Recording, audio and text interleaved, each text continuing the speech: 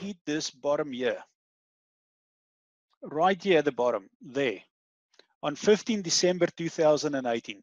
When we got there, we made a, a, comment and we said that risk adverse investors can now get back in the market. As a matter of fact, we called the low year on 7.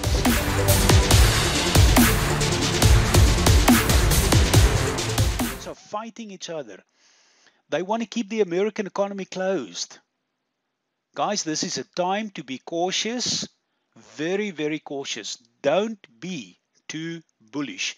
I've given you the plan, what I am going to do. It's up to you to take action. Thank you very much. This is Marius Landman. Have a fantastic day.